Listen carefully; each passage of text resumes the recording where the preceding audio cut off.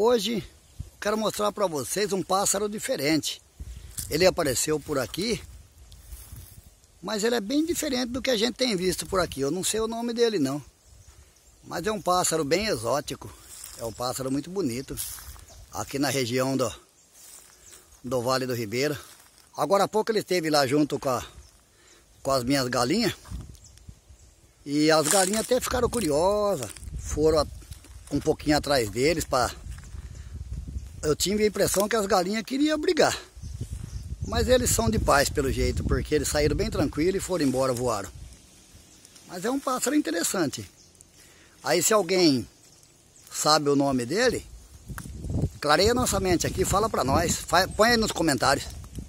Que nós não conhecemos. Aqui, quem viu os pássaros, não sabe o nome deles. Olha só. Então você que está aí vendo esse vídeo, se você sabe o nome desse passarinho aqui, ó, ajuda nós, tá bom? Falou, tchau, até mais.